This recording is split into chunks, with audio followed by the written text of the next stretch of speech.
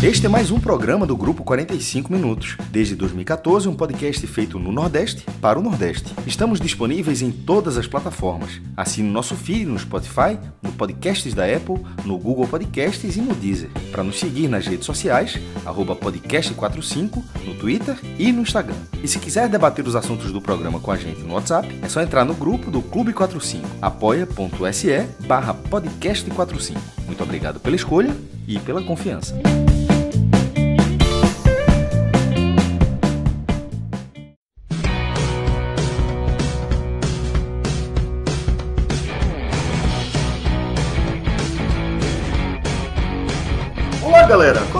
Mais um 45 minutos. Eu sou Celso Shigami, estou aqui ao vivo com Luca Laprovítera e Tiago Minhoca nos canais da gente no YouTube, na Twitch e também no Facebook. Desde já, pô, deixa um abraço apertado em todo mundo que está acompanhando a gente aqui ao vivo, deixando mensagem, seja superchat, seja mensagem tradicional. Lembrando que a gente vai trazer todos os superchats aqui para a tela, ler e debater o que vocês é, comentarem, tá? E, é, mas a todos vocês que estão mandando mensagem, por muito obrigado. Tudo isso contribui demais para o alcance do nosso conteúdo, tá? E como não poderia deixar de ser, também quero deixar um abraço aqui na nossa comunidade de apoiadores, velho. Como de costume, não posso jamais deixar de ressaltar a importância de vocês na trajetória do 45 minutos. A gente só está aqui graças a vocês. Eu estou sendo bem literal, tá? Estou sendo bem literal. Nossa comunidade de apoiadores é a forma mais previsível de é, a gente contar com a colaboração de vocês, né? Que a gente vai estar tá lá sabendo que mês que vem vai ser basicamente aquele valor que a gente vai receber. Aí a gente pode pensar em coberturas diferentes, em formatos diferentes, adquirir equipamentos diferentes para atualizar a nossa entrega de acordo com o momento que a gente está vivendo. Lembrando que a partir deste fim de semana, o 45 Minutos também vai transmitir jogos ao vivo. Estamos dando o pontapé inicial nesse de graça, é, movimento também. Você é pago. É Ainda bem que você lembrou. Free, galera. É de que... graça. Com Minhoca, imagem. Que doideira. Vai ver imagem. Com a, com a Ao vivo, menor delay possível, tá? O delay é de fração de segundo. Verdade. O delay é de fração de segundo. E de graça. Eu, velho. Quando eu tava fechando a parceria com a galera da Ale, Minhoca, eu perguntei para a galera do executivo lá, eu falei, velho, eu só quero entender. Já fechou. Já aceitei que a gente fechou. Mas onde é que tá o golpe? Onde é que tá o erro? É. Onde é que vem a facada, né? Velho, onde é que vem a facada, velho? Não, é isso mesmo, velho. A gente é uma plataforma social de streaming e a proposta é essa mesmo. Então, bicho, estamos agarrados com a galera da Daleap e, fundamentalmente, com vocês, tá? Fica o convite para vocês acompanharem, por enquanto, as emoções da Série D. Mas a gente já está acompanhando a movimentação para ir muito, muito além, tá? Agora, é, vamos iniciar, meus queridos Tiago Minhoca e Luca Laprovítera, a pauta do programa de hoje. Tá? Porque é, Minhoca falava comigo nos bastidores, falava comigo também na Água Suja, junto com vocês, é, do tamanho dessa vitória do Fortaleza sobre o Fluminense. Tá? Ah, não, é só um jogo da terceira rodada do Campeonato Brasileiro. É, na prática, eu acho que é bem mais que isso. A, a própria história do Fortaleza me ajuda a corroborar com o que eu estou falando aqui. Né? A dificuldade que o Fortaleza teve para tracionar é, é, no início do, da Série A no ano passado é, mostrou como é difícil você largar atrás, você largar dos boxes. O que o Fortaleza fez, essa campanha que trouxe o Fortaleza mais uma vez para uma campanha de Libertadores, se não fosse aquela é, marcação de passo do início do brasileiro, a gente podia estar falando de algo muito mais grandioso. Tá? E é por isso que quando eu olho é, essa arrancada do Fortaleza, que depois de vencer o Fluminense por 4 a 2 no Castelão, assumiu a liderança isolada da Série A, eu olho isso com um carinho todo especial. Principalmente por se tratar, Minhoca, de um time que está sendo é, aclamado, né? cujo futebol está sendo aclamado por toda a crônica esportiva brasileira, o Fluminense de Fernando Diniz. E fato é que esse excelente time de Fernando Diniz não foi capaz de fazer frente ao time de Voivoda. Porque foi 4 a 2 graças a uma atuação extremamente acima da média do goleiro do Fluminense. A gente podia estar falando aqui de uma goleada histórica, algo de seis para cima, tá? Dadas as intervenções aí é, que o goleiro tricolor precisou fazer para evitar uma tragédia ainda maior para a equipe do Fluminense. Então, por isso, Minhoca, eu acho que vale muito mais que os três pontos relativos a essa, esse compromisso da terceira rodada. Acho que é um, um resultado e uma performance balizadora do time de Voivoda. Pois é, Celso, eu vou ser mais breve, até porque a gente nem ouviu a voz do Luca ainda hoje, né? Nem... Boa noite! Pronto. Pois é, né? Eu, eu falei, pô, só eu vou estar falando. O cara que tá ouvindo só pelo áudio acha que Luca. Só nós tá... dois, né? É, exatamente. Mas eu, eu vou ser mais breve nessa primeira explanação, que a gente vai entrar mais no jogo. Mas é para falar de novamente numa temporada onde o Fortaleza a cada ano vai evoluindo, que situações como essa que aconteceu hoje na Arena Castelão, ela ela fica marcada, como foi o 3 a 3 contra o Santos, como foi aquela vitória sobre o, o Atlético Mineiro, com um jogador a menos na Arena Castelão, o Atlético Mineiro, que era do São Paulo, um time que era muito envolvente. Vários jogos, os, as vitórias contra o Palmeiras no Allianz Parque, com aquele gol uh, do Pikachu, né? Já no, no, final. Foi do Pikachu ou foi do, do Igor Torres? Do Igor Torres, já no final da partida. Um a menos. É, um homem a menos também. Então, assim, a cada ano, a cada temporada que o Fortaleza, e principalmente esse período voivoda, né, que você vai observando esses grandes feitos que o Fortaleza tem proporcionado no, no cenário nacional e por isso que é muito respeitado, uma partida dessa, da maneira como o Fortaleza jogou, que daqui a pouco a gente vai detalhar, ela se torna, assim, novamente uma constatação de um trabalho muito bem realizado. Durante essa semana, curiosamente, o Corinthians, né, perdeu o seu treinador, né, assim, Aquela questão do Cuca, né? Que, enfim, todo mundo já sabe o que é está acontecendo com o Cuca. Se desligou do Corinthians, o Corinthians estava atrás de um treinador, houve uma especulação em cima do Voivoda e o próprio Marcelo Paes até respondeu lá nas redes sociais dele, dizendo que a gente está perguntando, e o Voivoda sai ou não sai, e aí até ele usa uma piada, né? Não, não, não vai não, ele não vai não e tal. E isso mostra, não é nenhuma soberba do Fortaleza, na verdade, é um projeto bem realizado. Porque eu não tenho dúvida, Celso, um cara que faz o trabalho como em dois, 2021, o Fortaleza na quarta colocação e disputar uma Libertadores, a chance de um clube nordestino perder esse treinador para qualquer outro clube seria muito grande. A mesma coisa do ano passado, que o time estava na lanterna, o Fortaleza mantém, mesmo com as críticas que tinham. A gente criticando aqui, embora eu não criticasse de uma saída do Voivoda e muito mais uma crítica do trabalho eu lembro, do Luca, que é um grande defensor do trabalho de Voivoda, é, e é óbvio que, que é, não por acaso, faz um puta trabalho do cacete Voivoda, mas eu lembro de Luca aqui já chegar a falar, não, realmente chegou, deu, não dá mais, é preciso trocar. E não estou esfregando nada aqui na cara de Luca, não. Estou querendo dizer que esse era o termômetro do momento. Porque quando o Luca falou aquilo, ele não era uma voz desvairada no meio de uma concordância em uníssono que o Fortaleza deveria manter. Tinha pressão para tirar a voivoda, né? Fazia sentido tirar a voivoda é. ali. Eu, eu, não sei nem se foi essa palavra que ele utilizou, e o Luca pode até, não sei se defendeu ou não do, do que o do Celso falou. Eu, Mas, assim, eu vou me defender. Eu, é, pois é, porque na verdade eu lembro. O que eu disse foi que tem que mudar. É, exatamente. Ou de comando ou de estratégia. É, porque não, assim, não, não, não, tinha que mudar. Não, não, não, não, Mas é porque teve uma coisa. Aí a gente vai resgatar depois. Ó, ó, mas eu, lembro Luca, eu, lembro que o Luca falou uma coisa assim: será que o Voivoda é capaz de jogar num outro estilo de jogo, Sim. que é jogar de maneira mais reativa? Porque todo mundo sabia que o Fortaleza era muito propositivo. O time de 2021 era muito rápido, ia para cima, e não é à toa que a gente falou. Se o Fortaleza for jogar assim sempre, vai acontecer o que aconteceu com o Atlético Mineiro na semifinal Isso. da Copa do Brasil de 2021. Isso. Vai tomar um sacode.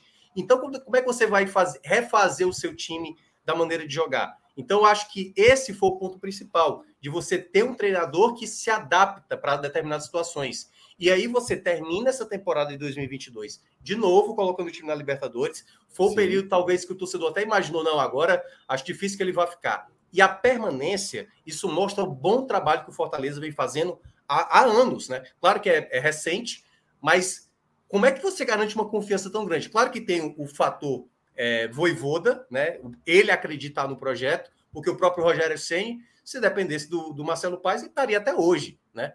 Por, por, pelo lado bom, lado ruim, o Fortaleza melhorou mais ainda tendo o Voivoda sob o comando do clube. E quando teve essa questão ah, do Corinthians, né? E aí, torcedores do Corinthians, que é natural, acontece. Realmente, o Corinthians é um time enorme. Na cabeça de um torcedor corintiano é como é que o cara vai estar tá num clube como o Fortaleza e não vem para treinar o Corinthians? Porque o Corinthians hoje é um clube desorganizado.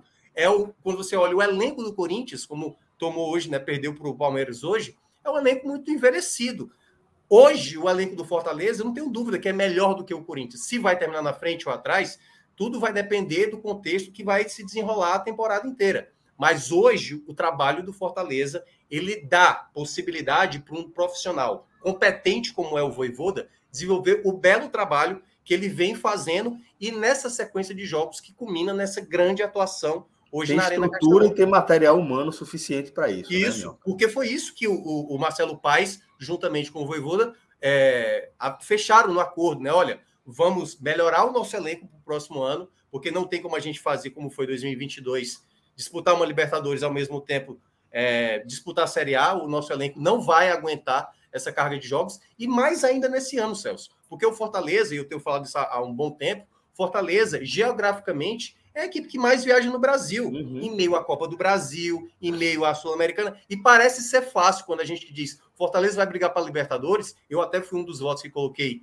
é, mais na Sul-Americana do que propriamente na Libertadores, mas eu sei da capacidade de Fortaleza de brigar pela Libertadores. Mas é por conta desse contexto, que até eu tenho falado há, há um bom tempo, né? Depois do jogo do Fluminense, estou falando Série A, o Fortaleza vai ter uma sequência que eu acho desumana da, da CBF, colocar isso para um time mal posicionado geograficamente como é o Fortaleza. Joga numa segunda-feira contra o Corinthians em São Paulo, vem para cá para jogar na quinta-feira é. contra o São Paulo e depois vai para Porto Alegre jogar no domingo contra o Grêmio. Eu acho desumano isso uma equipe que, obviamente, tem qualidade para isso, se fosse qualquer outro Flamengo, um Palmeiras, e é porque eles estão muito bem geograficamente, eles talvez pudessem abrir um pouco mais essa, essa, essa margem de datas para um, um clube que tem que viajar muito. E mesmo com o elenco qualificado como desse ano, Fortaleza, eu acho que vai ter que superar também essa situação. Não é fácil, mesmo você tendo um elenco mais robusto, com mais qualidade, mas eu acho que esse é o ponto principal. O meu resumo geral dessa vitória Boa. sobre o Fluminense, para mim, hoje, a melhor equipe do Brasil, que joga o melhor futebol, e mesmo fazendo as ponderações, o Fluminense que não começou com suas peças principais, mas que terminou com suas peças principais, essa vitória mostra o belo trabalho que o Fortaleza vem a cada ano construindo e que, se é uma equipe que está pensando cada vez crescer, esse resultado que aconteceu hoje na Arena Castelão comprova como o caminho que o Fortaleza está traçando está muito bem trilhado. Muito bem. Luca Laprovitra, agora sim, vamos ouvir sua voz oficialmente. E eu queria que você trouxesse também a sua visão geral desse jogo. Antes de mergulhar na narrativa de como se desenhou o 4 a 2 eu queria que você falasse é, de como você coloca esse resultado dentro da temporada. Cara, na verdade, eu vou colocar aqui como eu vejo na história do Fortaleza, sabe, Celso? É, eu já vi algumas grandes partidas do Fortaleza na minha vida. Uma delas, por exemplo, foi o Fortaleza 3 Bahia 0 de, de 2001 na Copa do Nordeste. É, tivemos aqueles 45 minutos maravilhosos contra o River Plate no ano passado. É, mas hoje foi espetacular, sabe? Foi daqueles jogos de resultado, de intensidade que eu coloco assim nos meus tops de jogos do Fortaleza na história. É, por tudo que envolveu o jogo, né? É, e já colocando uma coisa aqui, né, do, do Minhoca, é, eu lembro, por exemplo, que a gente ali no, no começo dos pontos corridos, a gente teve, por exemplo, o Curitiba chegando na Libertadores, né? É, com o Paulo Bonamigo, é, tivemos o Goiás em 2005 chegando na Libertadores com o Geninho, o Caio Júnior no Paraná, que eram times que já estavam bem mais fixos na Série A naquele momento. O Bonamigo saiu do, do, do Coritiba, assumiu, se não me engano, o Palmeiras em 2004, né? O, em 2005, o Geninho assumiu, saiu do Goiás, depois do Brasileiro, e foi para o Corinthians. O Caio Júnior saiu em, é, em 2006 2007 para o Paraná, depois de treinar o, o, Palmeiras, depois de treinar o Paraná se não me engano, o próprio Fernando Mancini, depois do Atlético Paranaense, que já é um time campeão brasileiro e tudo mais, que virou o que é, é ficou em terceiro lugar e perdeu a Wagner Mancini também. Acho que desses times menores, né? Só o, o São Caetano, que era o São Caetano, toda a questão financeira, Jair Pisserni em 2003 também com o Tite, conseguiu manter seus treinadores. É, apesar que depois do vice paulista, o São Caetano não conseguiu manter o Tite é, para o Corinthians, né? Então, manter duas vezes é um grande feito. É um grande feito, né? Para mim é, é, incrível continuar mantendo o Voivoda. E já falando do jogo, né? Do jogo em si, é, eu fiquei até um pouco surpreso quando eu vi a escalação do Fortaleza, né? Eu esperava que o Fortaleza fosse um pouco mais retraído para a partida, né? Eu não, talvez eu não esperasse ou o Caleb ou o Poquetino no time titular, eu esperasse talvez o Sacha, mas não, né? O Fortaleza ele foi ali, como a gente pode dizer, de peito aberto para o jogo contra o Fluminense. Tanto que a primeira oportunidade do Fortaleza no jogo foi com um minuto. Com um minuto de jogo, o Moisés perde uma chance. É, logo de cara, o Fortaleza chegou, né? Já chegou surpreendendo o Fluminense. E essa foi a tônica do jogo, né? Essa foi a tônica da partida inteira. O Fluminense chegou numa jogada individual, na falha do Tite, que foi justamente nesses pequenos erros individuais onde o Fluminense chegou e onde o Fluminense fez seus gols. Né, esses pequenos erros de posicionamento. É uma falha do Tite, o John Kennedy chutou para fora, mas já estava ali o, o, o Brits para fechar o espaço. Né? E é, é, na verdade, foi o Caleb, na verdade, foi o Caleb, sério, foi o Caleb que de, de perna direita que perdeu o gol. Eu estava aqui tentando lembrar. É, e é isso com 10 minutos. E daí para frente, o Fortaleza ele fez duas coisas que deixou o Fluminense muito desconfortável na partida inteira. Se a gente for olhar, por exemplo, é, para o jogo, a gente vai ver 70 a 30 de posse de bola. Mas chegou o momento de estar 55 a 45. Chegou a estar 52 a 48 em alguns momentos do primeiro tempo. Porque o Fortaleza, ou ele contragolpeava com muita velocidade e muita força, como saiu nos dois primeiros gols, numa marcação muito em cima e o contragolpe muito ágil, como sai no primeiro gol do, do Galhardo, numa sobra, onde ele, num chute incrível do Moisés ali, a bola sobra, o Galhardo bota para dentro, e depois no segundo gol, né, com o Moisés tomando a bola de trás do meio de campo e puxando a defesa do Fluminense, ou o Fortaleza naquele fez uma coisa muito interessante no primeiro tempo ele pegava a bola, ele não se desesperava. Em muitos momentos o Fortaleza sabia que a transição rápida não era a solução. Então ele rodava a bola, ele rodava a bola, ele rodou. Tanto que no primeiro tempo, o Fluminense não terminou o primeiro tempo nem com 60% de posse de bola. É, a posse de bola do Fluminense foi muito mais no segundo tempo, na segunda etapa. E aí realmente, eu acho que na segunda etapa o Fluminense chegou até quase 80% de posse de bola em alguns momentos. Então o Fortaleza ele rodava, ele deixava o Fluminense desconfortável. Ele marcava em cima, ele marcava alto e rodava a bola, ficava com ela e deixava o Fluminense desconfortável. Porque muitos momentos o Fluminense queria marcar em cima, o Fortaleza estava no ataque e o Fortaleza voltava toda a bola e começava a girar ela e isso deixava o Fluminense em muitos momentos desconfortável. E foi muito bom para o Fortaleza isso. E o Fortaleza faz um, faz 2 a 0 Podia ter feito 3, 4, 5 no primeiro tempo. Teve cabeçada do Moisés, teve bola, é, duas chances do Caleb, teve chute de fora do Hércules. A bola. O Fortaleza ele jogou um jogo muito sério no primeiro tempo. Ele jogou um jogo muito interessante. Ele teve ali posse quando ele precisou ter posse. Ele segurou a bola. Ele rodou sem objetividade. Mas ao mesmo tempo ele aquela falta de objetividade deixava o Fluminense desconfortável porque o Fluminense não conseguia retomar a bola e, contra, e, e ter a bola. O Fortaleza, em, em, muitos momentos do primeiro tempo, ele deixou o Fluminense desconfortável fazendo o jogo do Fluminense. E aí, é, o Fluminense acha um gol no finalzinho do primeiro tempo, é, uma falha ali de, de marcação, né? É, a bola acaba uma jogada ensaiada do Fluminense, a bola sobra. Luca, rapidinho, foi. esse lance, cara, foi não sei se tu olhou antes do escanteio. A bola iria, a bola é do Fortaleza. Não, a bola iria para além de fundo. E, e aí bastava o Tinga sair da jogada. E o Tinga toca na bola, gera o escanteio. Aí exatamente a jogada trabalhada. E aí a defesa bateu cabeça e tomou gol. É, cara, é, o... E aqui só para responder o, o Duarte, eu não estou falando do gol. O Kennedy, no lance que ele perdeu, ele passou do Tite aos 10 do tempo isso foi outra jogada. O gol a gente vai chegar mais na frente, tá, Edilson?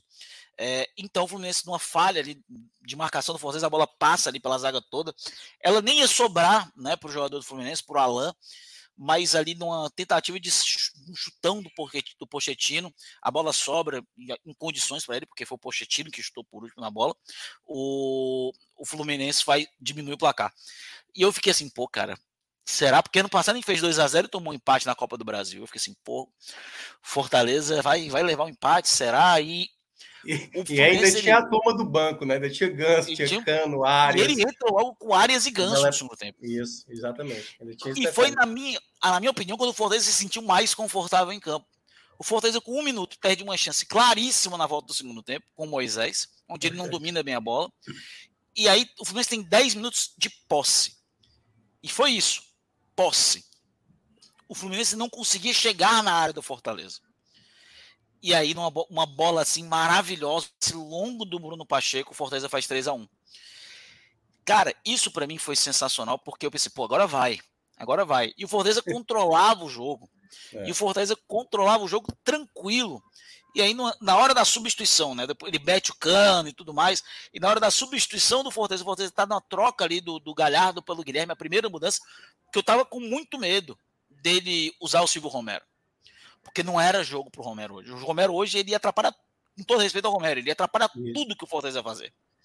E eu, e eu pensei, pô, cara, eu acho que ele vai com o Guilherme, eu quero que ele vá com o Guilherme. Não foi à toa que ele jogou sem centroavante contra o Águia.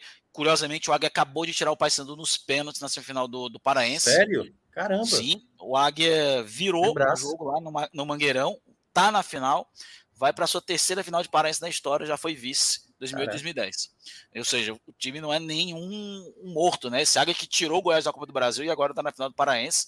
Eu acho que isso dá mais força ao Fortaleza, é, na minha opinião. E o Fortaleza, ele tira o Galhardo, bota o Guilherme, que fez uma partida. O Guilherme ele podia ter feito a melhor partida da vida dele, mas acabou com uma das piores hoje.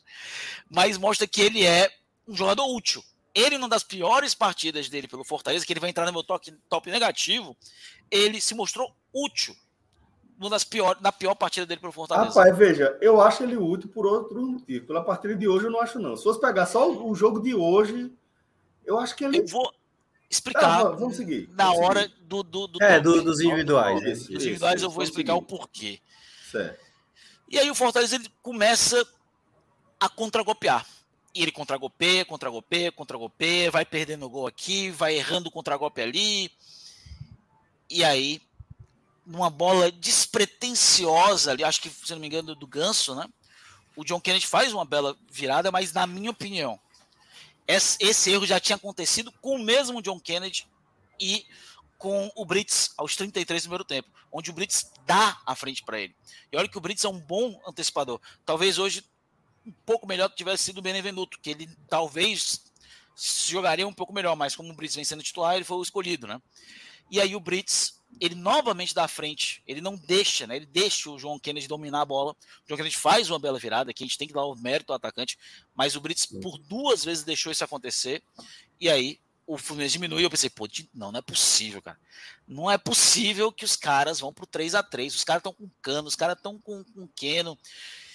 E o Fluminense ele com, começa a atacar e ele tenta, mas sem muita objetividade, umas bolas cruzadas, o Fortaleza bem postado, uma partida muito, mas muito segura do Tite, muito segura, vai entrar no meu top positivo.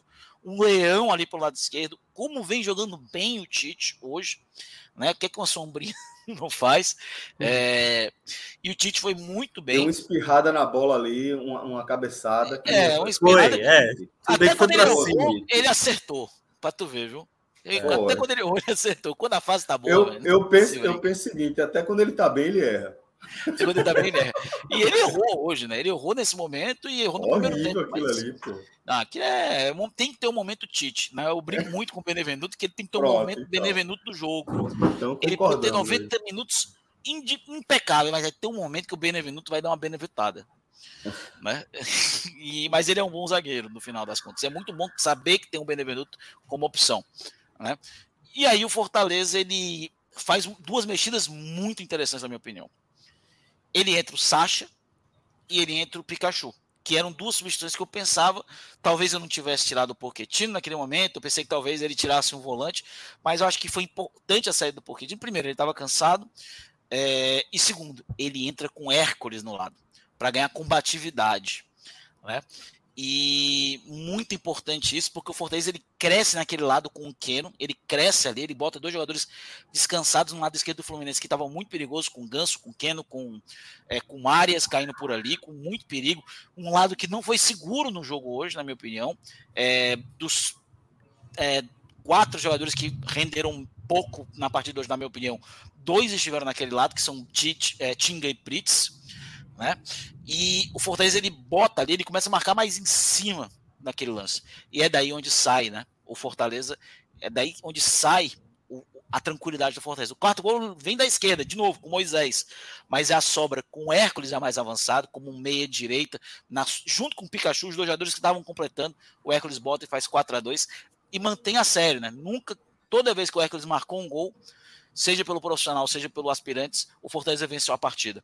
E mais uma vez isso aconteceu, 4 a 2 e depois daí, cara, não teve mais Fluminense no jogo. O Fortaleza ele foi um domínio absoluto. E, a, e o Fortaleza foi. perdeu um caminhão de gols ainda por cima. O Fortaleza finalizou 20 vezes. Eu quero Foram... ver como é que tu vai botar Guilherme no positivo hoje. Ele vai ah, negativo. não, negativo, negativo, né? Negativo. Negativo. É, é. Negativo. É, e o Fortaleza, ele fez ali um, um jogo incrível nesse momento. Ele dominou o jogo, ele faz ali. Podia ter feito. Se ele já podia ter feito mais gols, ele, naquele finalzinho que a gente já conhece, né? Onde o Fortaleza ele tem aqueles mesmos finais de muita intensidade também, né? É, hoje o Fortaleza podia ter saído com mais um, dois ou três gols só depois dos 42 minutos. Só depois dos 42 minutos o Fortaleza podia ter feito três ou quatro, dois ou três gols ali tranquilamente. Foram 20 é. finalizações. Não, agora o Minhoca talvez foram 12 no gol, né, Minhoca? Foram 12 no gol? 12. É, 12 sei lá, foram, foram 16. Ah, é, é, essa, essa, essa estatística do Fortaleza eu acho impressionante. O Fortaleza finalizou 20 vezes, 18 no alvo. 18? 18, 18. velho. Cara, você fazer um, uma conversão de 90% das suas finalizações no alvo é. contra o Fluminense. Era surreal, cara. E assim, porque assim, acontece Fábio às vezes. pegou muito, pô. Tu é, é você finalizar 8, aí 7 no gol, 10, 9 vai no gol, mais, mais 20. 20 um Fora as que não conseguiu finalizar por erro individual. É, por algum detalhe a mais. O lance do Pikachu, que demorou a soltar a bola e sofreu a falta ali é, para ter dado passo para o Guilherme. Mas assim, essa estatística para mim é, é, impressionante. Não ia sair gol, não, ali. Com o Guilherme, no dia do Guilherme, é, não sair nada hoje. Ia piorar. No dia do cara. Mas, Foi cara, até bom não ter tocado, porque ia, ia acabar inviabilizando o Guilherme. E ele é útil, é, de fato. Mas hoje ele é útil. O Guilherme hoje, o pessoal tá meio aí puto com o Guilherme, mas eu acho que não é momento de se ah, pensar a gente nisso. Chega lá. A gente vai é, falar. Não é momento de se pensar nisso. Não é momento de pensar nisso. Porque, cara, são cinco anos de Série A são cinco anos ali é, jogando o Fortaleza teve bons momentos em todos os anos da Série A. O Fortaleza fez um 2019 é, muito seguro, muito tranquilo. Fez um 2020 que vinha bem até a mudança de comando. O Fortaleza fez ali um primeiro turno muito bom ali para o nível que ele estava de investimento. Chegou a ser sétimo lugar. É, chegou a ser sétimo lugar, estava ali disputando vaga na pré-Libertadores.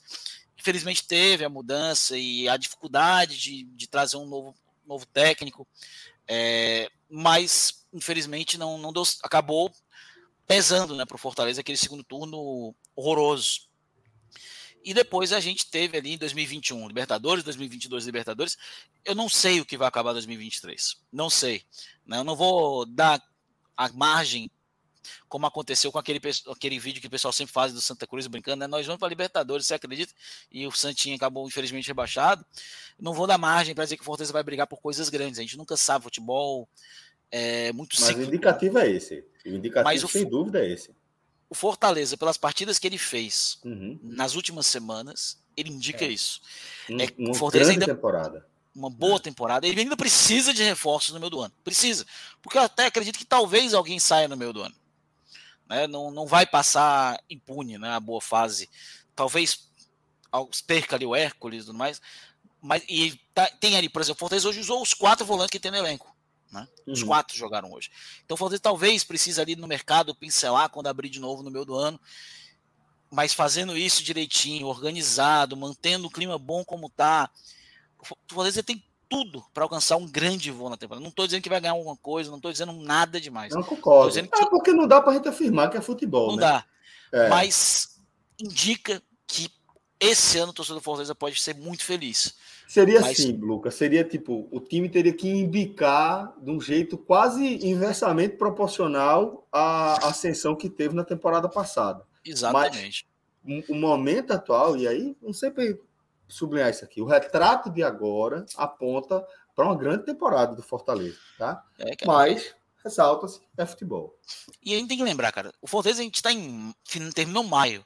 Fortaleza jogou o jogo número 30 hoje. Terminou abril, né? abril, pô, que maio. Que, peraí, é, terminou abril, vai entrar em maio, desculpa. A gente vai entrar em maio e o Fortaleza jogou 30 jogos no ano. É. 30 jogos em 3 meses e meio de futebol. Isso, é, é uma média um pouquinho menor de 10 jogos por mês, né? Por exemplo, esse mês o Fortaleza jogou 9 vezes. Mês passado, que é, março, também, jogou 9 vezes. E vai jogar também. 9 de novo. É, é, a folga foi em junho, data FIFA. E olha Porque lá. Se não, porque se tivesse chegado na final da Copa do Nordeste, aí seria. Nem teria. É, Exato. Então, a folga. E a gente ainda tem aquela questão: Fortaleza vai viajar muito esse ano ainda. Isso. Fortaleza ainda vai para Venezuela, o Fortaleza vai para o Chile, Chile, vai para o interior do Chile, não vai nem para é. Santiago. É. Fortaleza tem ainda 18 des, altamente desgastantes viagens na Série A. Tem viagem na Copa do Brasil. Fortaleza tem pelo menos, pelo menos, aqui, no mínimo, mais 21 viagens na temporada. No mínimo 21 viagens na temporada. E pra gente, cara, que tá no Ceará, é muita coisa. O Fortaleza vai passar e muito só de direção dos 100 mil quilômetros rodados no ano. A média de um Corinthians, de um Palmeiras por ano, é, vai variar ali de 35 a muito quando ele chega, jogando quase tudo e quase todas as finais eles chegam ali a uns 60 mil quilômetros. O Palmeiras não chegou a, não chegou a, 90 mil quilômetros nem indo para o Catar quando foi para o Mundial. Imagina a gente chega a 100 mil quilômetros jogando só aqui nas Américas. Só pela nossa distância. Isso sem contar as ridicularidades que são. Isso com o Ceará na Série A. E em anos que o Fortaleza praticamente não jogou no interior. Esse ano já jogou uma vez, né? Em Barbalha. É... E aí também é, sem contar o que o Fortaleza ano vai para Venezuela e tudo mais, jogando tudo.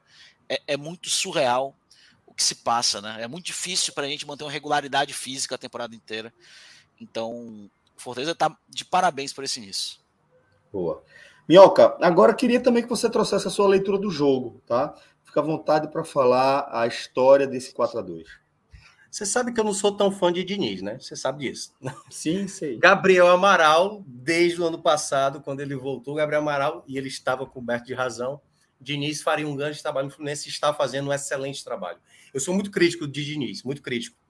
Mas desde o ano passado, final do ano passado, eu reconheço que o Diniz conseguiu dar o seu salto. Né? Até por conta do Campeonato Carioca, ah, o Campeonato Carioca é um campeonato estadual, não vale nada. Mas eu digo é Hoje o Diniz, o Diniz era muito atrelado àquele futebol do joga bonito, toque, toquinho, toquinho, como diria João de Drag, né? Toquinho, toquinho, fumo. Pois é. Só que do, ele realmente, com o Fluminense, recente, do ano passado para cá, ele conseguiu conciliar o futebol envolvente que ele tem com eficiência. Até porque ele conseguiu ter no seu elenco talvez a melhor composição daquilo que ele quisesse exercer. Cara, o que ele consegue fazer com o Ganso, o Ganso, você falasse no começo de 2022, o Ganso vai ser um dos principais jogadores do Brasil. Você, pô, é piada. É como a gente fosse falar do Luan hoje, do Grêmio, que, que era do Grêmio, hoje está no Corinthians e está praticamente sem jogar. Ele conseguiu resgatar esse jogador. Aí ele faz o Área ser um grande jogador. O Nino, que é um jogador que poderia ser de seleção brasileira, foi seleção de base. E ainda tem o, o principal goleador, que no caso é o, é o Germancano. Então, assim, quando eu olhei para esse jogo, eu falei, cara, o jogo não vai ser fácil. Eu até falei isso na sexta-feira e muito torce... alguns torcedores do Fortaleza até falaram assim: Minhoca tá querendo rebaixar o Fortaleza. Eu falei, velho, quando você enfrentar uma boa equipe, você tem que reconhecer que outra equipe é melhor do que você. Até porque quando você consegue vencer como o Fortaleza venceu, o feito se torna gigante, velho. É gigante como o Fortaleza conseguiu bater duas vezes no Palmeiras, numa mesma Série A, como ele fez no ano passado contra o Flamengo, venceu lá e venceu aqui. Então, vencer o Fluminense hoje é muito grande, cara, é gigantesco. E aí eu vou entrar na partida, destacando, claro, tem esse cara que está aparecendo na imagem para quem está acompanhando, Moisés Jogou pra caralho, porra. Pra mim fundamental. foi, Eu- foi o nome do jogo. o nome, o nome do jogo, e vou até, quando eu for falar individualmente, vou falar de uma situação que, que se torna simbolicamente o jogo dele ainda maior. É, mas o Voivoda, teve uma coisa- durante o jogo, eu tô lembrado que foi que falou aqui, foi o Vini, o Vini falou há, há um tempo atrás, que estava acompanhando lá pela rádio, e ele falando assim, é, é, às 8 horas e 58 minutos, procurei relógio, ele botou o seguinte, fica aqui meu protesto contra Thiago Minhoca, homem, deixe de ser frouxo, era o tempo todo na transmissão do jogo. Não, mas o Fluminense confia no trabalho, filho. Ele colocou essa mensagem. Reginaldo Silva. Ah, pronto. Vini trouxe essa mensagem aí, que Minhoca destacou, Isso. e Reginaldo Silva trouxe algo nessa linha também, como superchat. Tiago Arcolano Minhoca, o Fortaleza mostrou toda a sua virilidade hoje? Teve alguma coisa a ver com a transmissão também? Não, não sei, eu já não sei. Mas por quê? Não, achei É, que você pudesse ter falado alguma coisa também nesse, Não, nesse eu, sentido, eu- entendeu? pelo menos se eu falei, foi aquele lá ele que eu nem percebi, entendeu? Pode ter sido isso. Pode ter Eu, sido pô, isso. velho, pior que agora eu nem tinha pensado nisso. Pensei de fato Enfim, em. é, eu, eu não sei por qual motivo. Mas assim, se a, viril, a, a virila- viril- virilidade virilidade. É, virilidade que o Fortaleza que está mencionando é o ímpeto, o máximo que o Fortaleza pode alcançar? Acredito que sim. Mas, assim, de uma maneira de jogar do Fortaleza. Eu, eu acho que esse Fortaleza tem várias formas de jogar. O que o, o que o Voivoda fez hoje contra o Fluminense é mostrar, muitas vezes, como se ganha de um adversário que é mais qualificado que você e que, que se você entrar no jogo dele, você vai acabar sendo derrotado. Esse foi um jogo, como o Vini mencionou, que eu ficava, ah, não, mas o Fluminense, porque eu falava assim, tava 3 a 1 eu falei, velho, mas é o Fluminense. E o Fluminense tá com, com os principais jogadores em campo agora, tá com Gans, tá com Arias, tá com, tá com Cano, entendeu? Então, assim, Ele. tem muito jogador de qualidade. E aí, quando faz o 3 a 2 eu falei, tá vendo? É por esse motivo. O jogo não acabou. O Fluminense não para. Quando o Fortaleza fez 4 a 2 eu falei, o, o, o Fluminense não tá parando de atacar. Ainda teve uma bola que passou ali aos 45 do segundo tempo, uma bola que passou ali em frente à área do Fernando Miguel. Eu falei, se ele faz o gol agora é 4 a 3 e eles não vão parar, cara. O Fluminense é uma equipe que não para de atacar. Não à toa. Eu considero hoje a melhor equipe do Brasil. E o Voivoda, eu acho que ele leu muito bem o jogo por um motivo. Assim, para mim, eu acho que foi mais perceptível. Teve uma hora que eu não tava olhando assim, eu falei, peraí, velho. O, o Pochettino não tá ajudando tanto, tanto assim defensivamente. O Galhardo também não. Sabe assim, tá todo mundo meio que olhando o Fluminense. E aí depois, com 30 minutos do primeiro tempo, eu entendi o que é que o Voivoda tava pensando. Que é tipo assim, cara, ele entendeu que o Fluminense até essa margem, um pouco depois ali do círculo central, tá tudo bem. Uhum. Pode deixar, não precisa fazer pressão alta. Por quê? Porque várias equipes, Celso, quando vão enfrentar o Fluminense, querem fazer aquela marcação alta, pressão, tentar roubar a bola desesperadamente. Meu amigo, três É toques, a pá, fama, pá, é pá, a pá, fama Can- de cano livre. Diniz, né? Cano livre e lá e você tá tomando gol. Então, se você for de maneira muito, muito é, afoito para tentar recuperar a bola, pra- isso não vai dar certo. Então, o Fortaleza entendeu muito bem a partida. Galhardo, muitas vezes o Poquetino ficava só fechando espaço, só fechando espaço, e o Fluminense toca na bola. Tanto que, quando você olha no volume de finalizações, é bem menor do Fluminense, porque o Fluminense teve dificuldade. O Fluminense ele não vai arriscar de fora da área. Dificilmente ele vai fazer isso. Então ele tenta sempre procurar uma jogada para ficar o mais próximo da área e, se possível, finalizar dentro da área. Então o Fortaleza entendeu isso muito bem. Povo- Povoou muito bem o- o seu setor defensivo.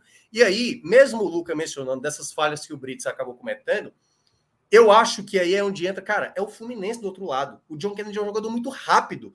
E o Brits, que eu acho que é um jogador muito bom, das duas vezes, ele fez a leitura errada. Concordo que foi um erro do Brits, mas, no geral, o que se viu foi o Fortaleza permitir o mínimo possível ao Fluminense de oportunidade, mínimo possível. Dado esse Fluminense, que é capaz de enfiar a sacola em você, como ele fez, por exemplo, com o América Mineiro, como ele fez no jogo passado, né, que venceu só por 2 a 0 mas podia ter sido bem mais. Então, eu acho que esse foi o mérito principal do jogo. Era um Fortaleza entendendo em qual região do campo ele tinha que se preocupar mais, e em determinada região do campo, tipo, não, tudo bem, Fluminense. Quer ficar com a bola? Fique com a bola. E aí, uma coisa, o Kaká, que também já comentou aqui, Um abraço, viu, Kaká? deixa eu tomar um pouquinho Esse de água aqui, tá, também. o negócio tá complicado. vontade, velho. Kaká também é aqui do, do nosso time e tem sempre voz aqui com a gente. Um abraço, meu irmão. Você é muito querido, velho. Enfim, é, o ponto que foi é, fundamental, o Kaká falou uma coisa que eu achei muito interessante lá no, no, no Twitter, que eu coloquei essa estatística né, das 20 finalizações e 18 no alvo, tendo apenas 30% de posse da bola, foi o seguinte.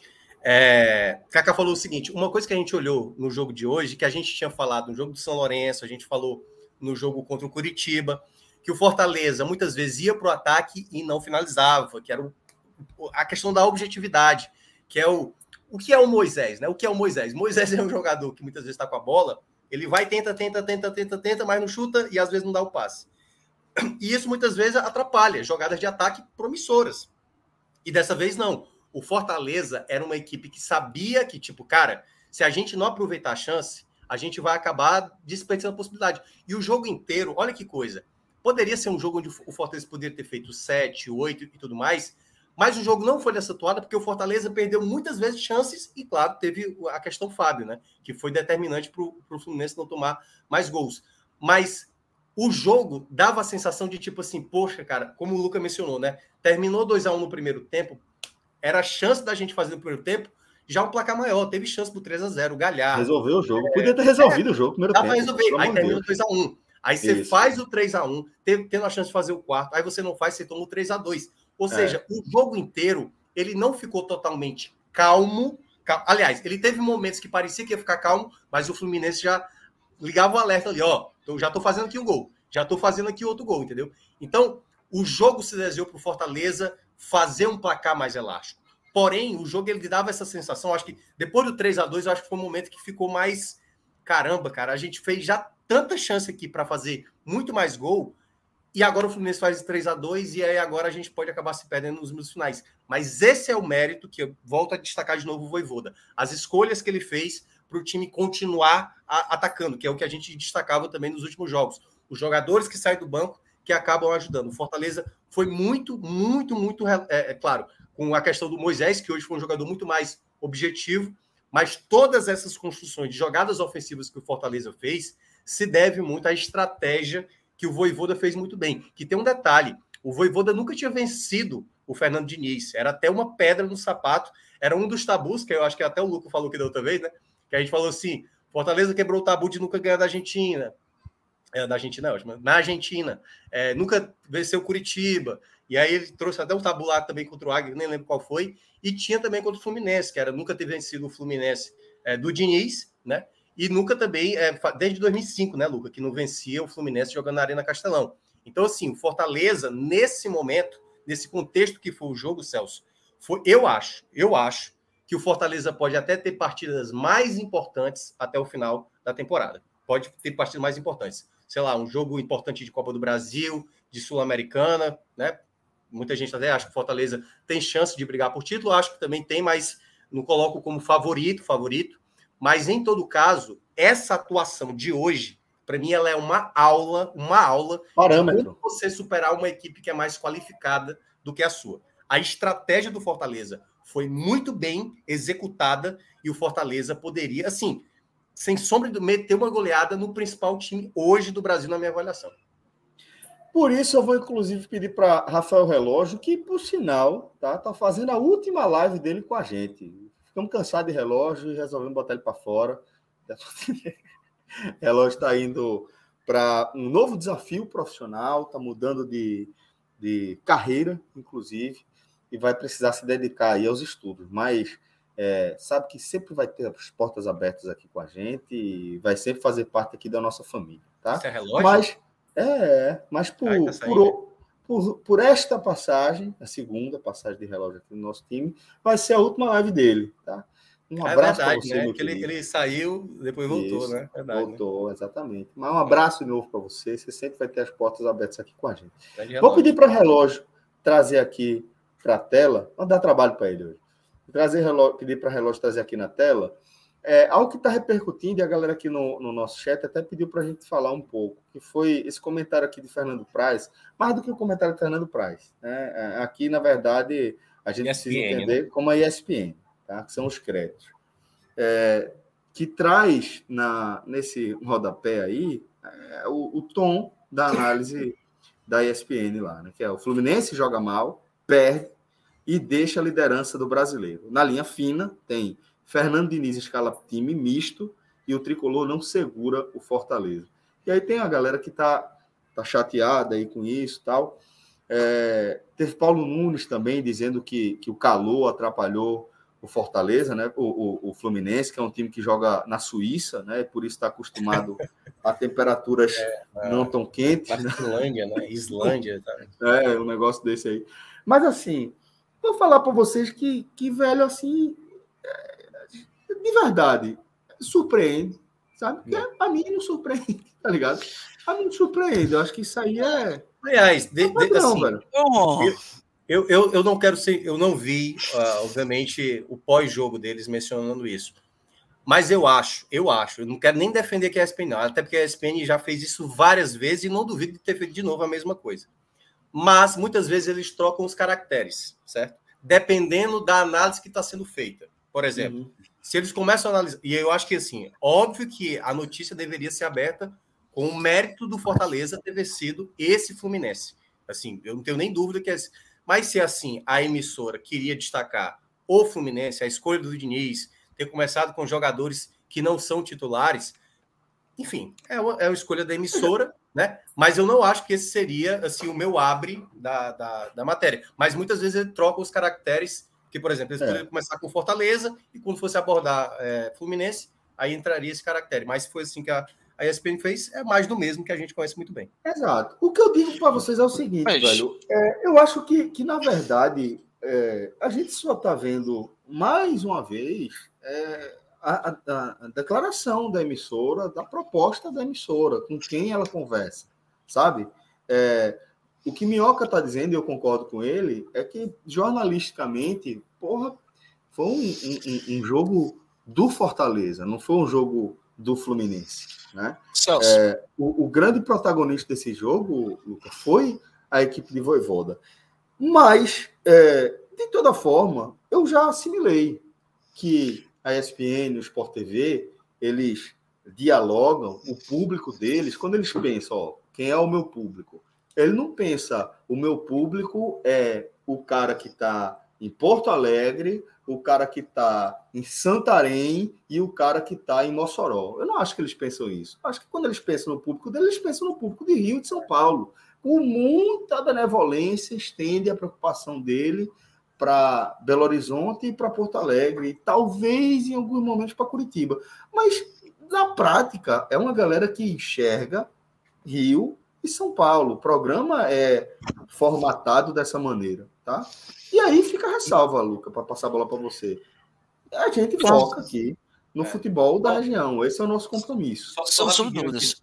O Guilherme Camussa até falou aqui, né, que eles até modificaram depois os caracteres, né, que era exatamente Boa. porque muitas vezes a, a, gente como como imprensa, né, o Luca também já trabalhou nisso, às vezes a gente mesmo comete uma falha, né, a gente teve um, um, um momento desse, né, recente, né, Celso, até o Fred pediu para dar uma corrigida, Acontece. Isso, Às isso, vezes é a, a, falta de percepção.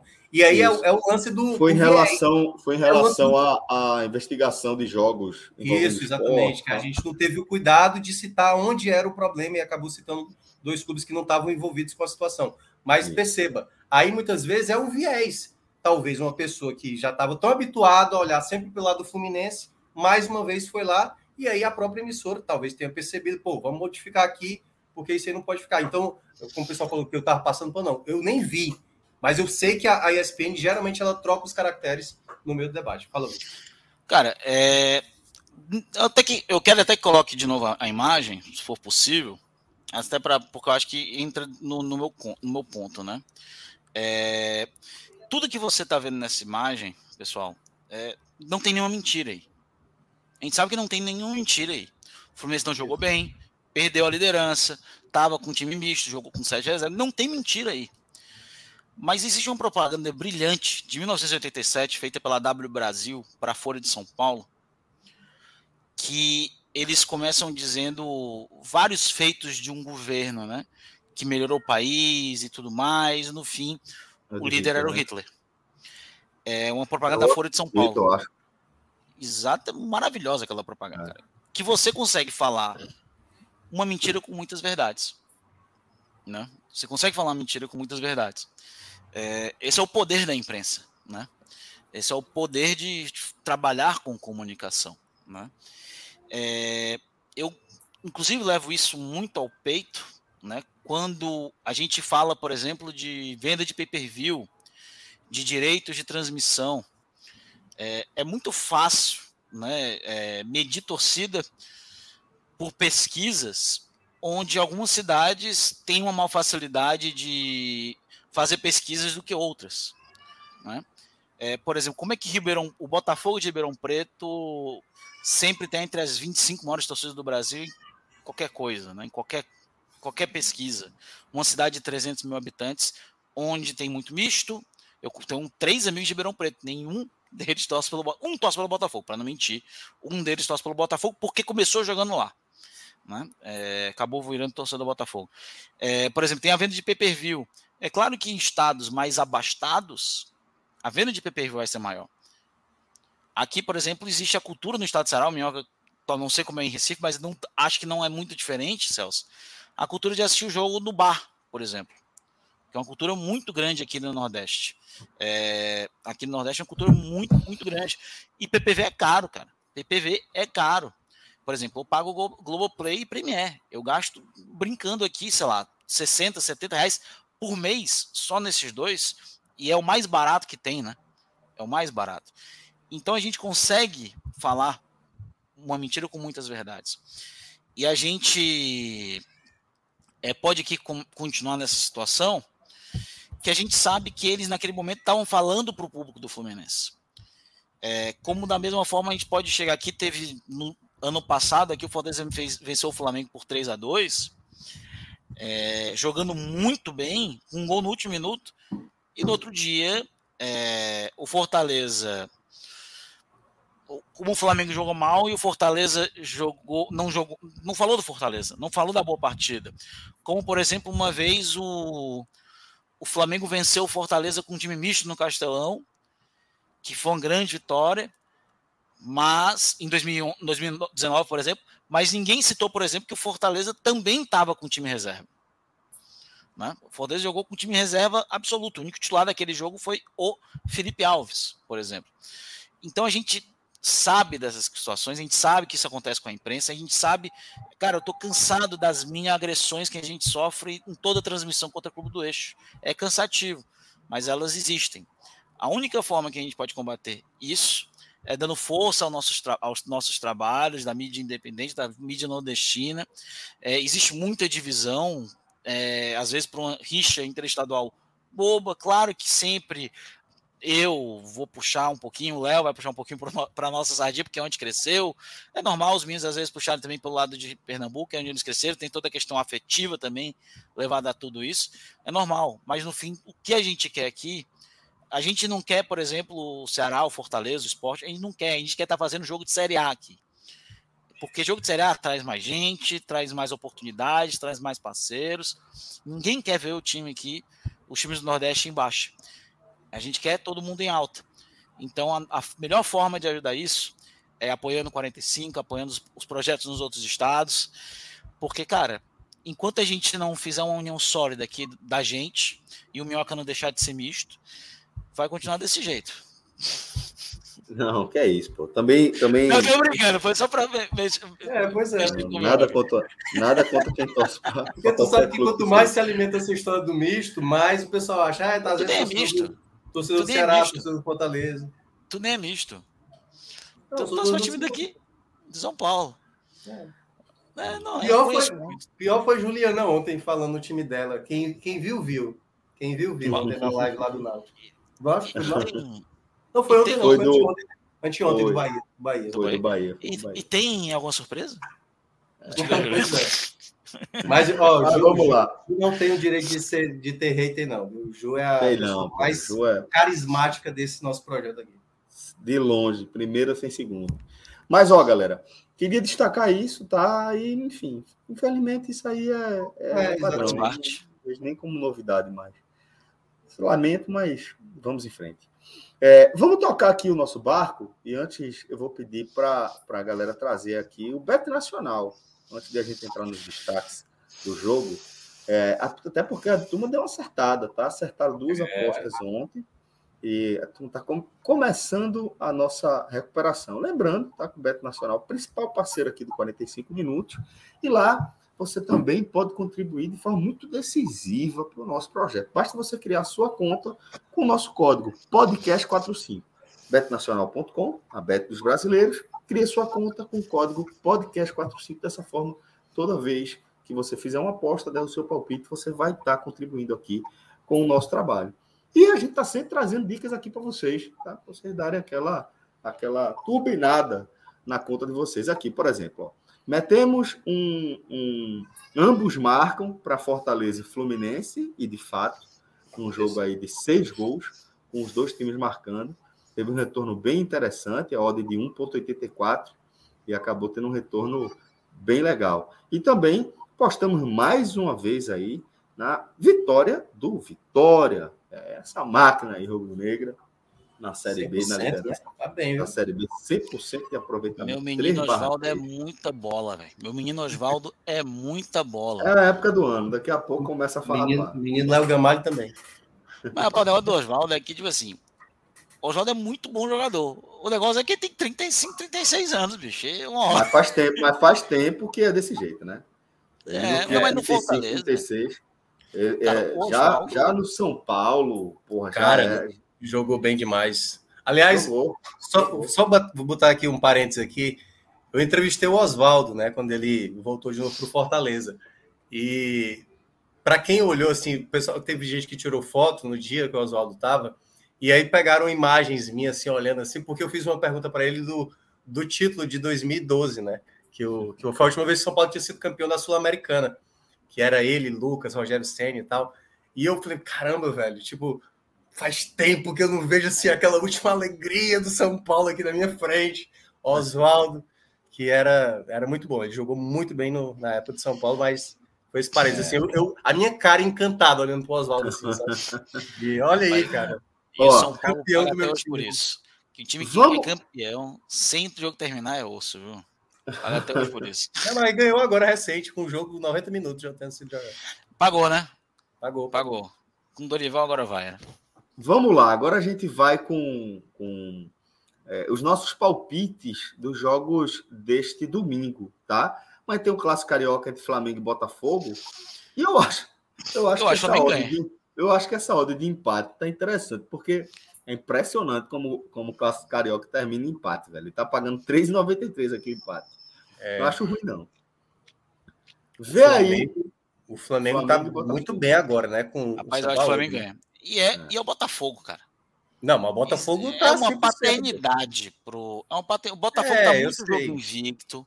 Isso não é normal pro Botafogo passar muito Mas esse empate eu acho que tá muito convidativo. Tá muito convidativo. Eu acho da Flamengo. Eu acho da Flamengo. Não, não, eu acho que o Flamengo é de crueldade. Eu acho da Flamengo com requinte de crueldade.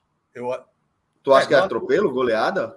Não, requinte de crueldade. Ou é uma, uma goleada ou é aquela derrota assim de 1 a 0 com gol chorado, roubado. É Será eu, acho que tá pagando mal o Flamengo para a gente Ei, apostar nele, entendeu? Será que, Flamengo, não. será que o Flamengo não vai dar uma segurada em alguns jogadores, não? Porque assim, eles precisam se recuperar na, na Libertadores, né? Minhoca, oh, é, relógio, vê, vê é, São Paulo é, a dupla chance lá, os dois resultados. Vamos ver, São empate Paulo, e jogador. Botafogo. Quem? o São Paulo e poupar o. Não, oh, é. Vê, vê, vê, vê. Dupla hipótese aqui. Empate ou Botafogo pagando 2,21, pô. Vambora, assim, botar uma quantiazinha pequena. Não, pequena também não, porque é só 2,21, né? Mas... É, 2,21. Acho que dá pra soltar uma onça aí, pô. É? Dá, dá pra soltar uma não, Você aí. gosta de matar as onças, então bota onça. Dois resultados, pô, dois resultados. Dois terços aí das, das alternativas. Pode soltar aí. Botando fé. Pô, eu tô botando mais fé no empate do que no Botafogo. Remo Carvalho botou uma mensagem agora que eu vou te contar o cara aceitava se eu torcesse tá, do Ceará. Tá bravo, tá bravo. É. Aí, é, essa é a minha aposta. Qual é a aposta de vocês aí? Inter. Eu acho é. que o Inter não ganha, não. É carinha de empate também esse jogo. Não, cara. É o Inter, é cara. É fraquíssimo. O Goiás é fraco. O Goiás é muito é fraco. Mas Ganhou o Inter... Corinthians porque. Putz, merda, o, o Inter é... perdeu pro CSA, pô. Não, mas jogando fora. O Inter, o Inter joga muito mal fora. Mas o, mas o Inter quase pede para o CSA no Beira Rio. Também, também teve isso. Mas eu não sei, eu ainda acredito mais. No... Ele tem muita dificuldade com o time que se defende, cara. Eu faria. Desce um pouquinho aí na Série B, só para olhar o que, é que tem de mais jogo aí. É porque Série Rapaz, B é difícil, né? Esse ABC e Ceará tem cara de duplo marca. Assim, o que é que tem acontecido na Série B desde o ano passado, o Celso lembra muito bem, e que também está acontecendo esse ano. Os mandantes estão se aproveitando muito bem, assim. Jogar é. em casa é um ponto muito determinante. É. é. Mas ABC e Ceará vai ser um desespero tremendo. Acho que quem abriu o placar... Eu acho que é os dois marcam. Eu não sei, ó, cara. É, é um jogo de desesperados aí. O esporte vai com o time né, reserva, né, Celso? Total, né? Não é, nenhum titular. É, é, exato, exato. Anderson vai? O, o esporte tá pagando 4,22, pô. Sabe? É um, um time reserva. Esse time do Novo que... Horizontino é muito ruim, cara. É o, o que eu, o meu problema com o time reserva é que é um time que não joga. Ó, Minhoca tá, tá sugerindo é, a vitória do Grêmio sobre o Cuiabá fora de casa. Está pagando 2,69. Eu acho que pode ser interessante, uma dupla interessante aí. É um pouco arriscada, mas eu acho interessante, Minhoca. É, é porque o Grêmio, o Grêmio, às vezes, eu acho que ele joga muito no limite. Ele quase perdeu a classificação para o ABC, né? Ainda conseguiu garantir a classificação. Mas joga, jogando fora de casa também, perdeu para o Cruzeiro. O Cruzeiro até ganhou hoje do, do Bragantino. Uhum. Não sei, cara. Não, né? Sinceramente, aí os outros eu acho mais complicado. A minha, a minha a minha garantia seria o Inter, mas. O Inter. É que é pouquinho, velho, para garantir. É, é, pois é, é pouco. Bora Cara, botar um ambos marcam aqui para misturar e fazer uma dupla. Inter e Goiás. Inter. Não, Como vocês acham que pode sair gol? Tô, tô, tô procurando aqui. Esse Flamengo e Botafogo. É, o Luca deu a ideia de ABC e Ceará, né? Do, os, ambos marcam. Ambos marcam? Então bora ver como, como é que tá ambos marcam aí, nesse mercado aí. Pior que eu também tô achando que vai acabar saindo ambos marcos. Ambos marcos. Acho bom. Acho Dois. bom. 204 a odd. Bota aí. Vamos fazer, formar essa dupla. É porque são duas equipes que não fizeram gols, mas a gente sabe que tem potencial para fazer gol. É, exatamente. Ó, eu iria aqui com a onça também. Tá pagando 3,14 essa odd da gente. É, acho vai, que vai bem. Vai trazer mais duas onças, né? Se... É, vamos trazer aí. Ver se traz uma família. O pai é isso. É isso. Ó, Bet Nacional, tá aberto para os brasileiros. Entra lá com o nosso código podcast45 na hora de criar sua conta, que vai ajudar demais, demais, demais aqui o nosso trabalho, certo?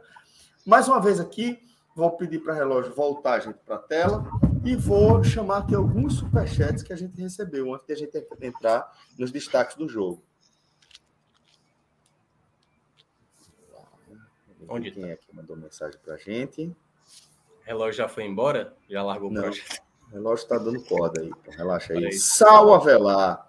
Obrigado, viu, Sal? Sal tá sempre colaborando aqui com a gente. Sei, Ó, vale eu apoio com gosto. Sei, na prática vale quanto? É 10, 10 dólares canadenses vale é. 126 reais.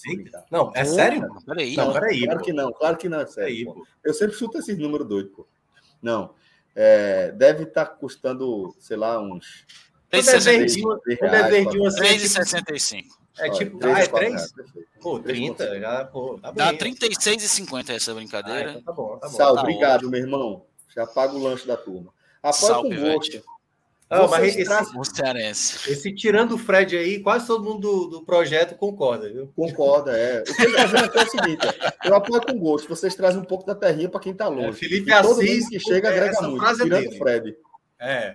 Felipe Assis concorda com essa frase total. Aí. Ó, Sal, Todo mundo, todo mundo concorda. Do nosso projeto, tá? Todo mundo assina embaixo aí com você, concordando que Fred, tirando Fred, todo mundo agrega. Obrigado, meu irmão. Relógio, oh. tem mais superchat aqui pra gente? Acho que já lemos, né? Acho já. que é tem... outro que já tinha. É, tem, tem notícia, né? É, a ah. Record fechou com a Série C. Foi, vai passar na É, mas aí eu, eu, eu não sei bem, Luca. Eu estava até vendo a matéria do Gabriel Vac. Eu não sei se é só com, a, com confiança que é a afiliada da Record de Sergipe, que vai transmitir os jogos do Confiança, Rapaz. ou se de fato é com as Records locais, né? Assim, então, enfim, a gente vai averiguar, né? Qualquer coisa, trazer mais informações. Aonde? No NE45. é, é. é bom demais. NE45.com.br. Isso. Bom, é, dito isso, agora vamos para os destaques individuais aqui da nossa partida. Vou começar com o Luca, tá? é, eu quero entender daqui a pouco a visão dele sobre o Guilherme, mas isso vai ficar para os destaques negativos, tá? Vamos primeiro abrir com, com os destaques positivos. Na minha modesta opinião, o nome do jogo é Moisés. Não foi o único grande desempenho do Fortaleza, mas realmente acho que ele foi impecável, impecável em todos os, os, é, os as etapas do, do, do, campo, do jogo do Fortaleza. Que disposição, impressionante. Rapaz, eu vou começar aqui no, no positivo. Eu pensei assim, teve muitos jogadores muito bem, sabe, Celso? Eu achei que o Pochettino jogou bem, é, gostei muito do Caio e do Hércules. O Caio um pouco Hércules mais. Bem também. Muito bem. O Hércules ele flutuou um pouco no jogo, mas ele jogou bem no, no saldo final. Mas eu vou ficar em terceiro lugar com o Tite. O pessoal disse que eu pego muito no pé dele, pois o Tite vem jogando muito bem. Muito, muito bem. Você tá Hoje numa sequência de elogios que está impressionante pouca. É, tô mais leve, eu acho que é um remedinho. É um remedinho. É, tá ajudando. o Tite foi muito bem na partida hoje, muito seguro. É, jogou muito bem, na minha opinião, apesar daqueles dois sustinhos, né? No primeiro, um no primeiro tempo e um no segundo. Mas é, fora os momentos Tite, ele foi muito bem. Em segundo lugar, eu vou colocar o cara que deu a assistência do jogo, né? Apesar de quatro gols, só teve uma assistência na partida, que foi o do Bruno Pacheco. É, cara, Pacheco hoje jogou demais, cara. Como defendeu, como atacou, como. Acho que foi o jogo do, do São Lourenço, né? Que eu falei que a dobradinha Pacheco e Moisés, quando eles se entendessem, ia dar muito certo. E, cara, hoje, meu Deus do céu, surreal como deu certo. Muito bem o Pacheco. É, ele só não foi o melhor do jogo porque teve o Moisés. Né? O Moisés foi recompensado pelo ato do ano passado, né, onde ele deixou de fazer um gol. Jogou pra caralho, é, isso é doido. Jogou pra caralho, foi surreal, cara. Foram dois gols, os outros dois gols foram em bolas de sobra dele, perdeu o gol feito. Cara, o que o, o Moisés fez hoje já são três gols em três jogos no Brasileiro desse ano. Já são 12 gols na Arena Castelão. São 10 gols em campeonatos brasileiros, né? É, em Série A, né? Então é muito muito bem ali o Moisés, um grande jogador. Ano passado, eu lembro quando o Fortaleza estava é, naquela situação né, de, no primeiro turno. A gente estava aqui numa live, acho que foi a live da derrota pro.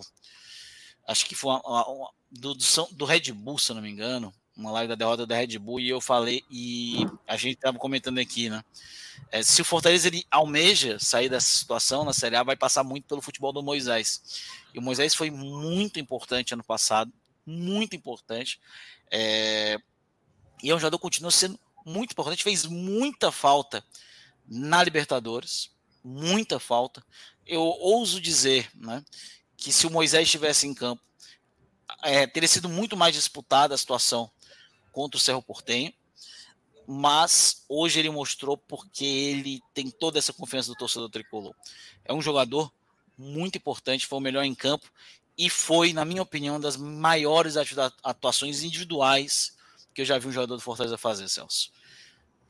É, já entrando nos positivos, né? Vou começar com o primeiro, que de fato Moisés, né? Como o Luca bem lembrou, que era esse ponto que eu queria destacar, né? Há um ano, Moisés, na Arena Castelão, ele teve um ataque e é, e é perceba, era um contexto muito difícil.